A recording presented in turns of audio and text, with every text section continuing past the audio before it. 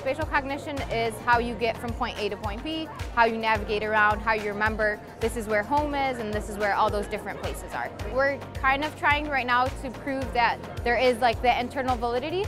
There is what people are doing in virtual reality, they're going to do it in real life. They're going to make that kind of equivalency. So if they learn something in virtual reality, they're going to apply it to the real world as well.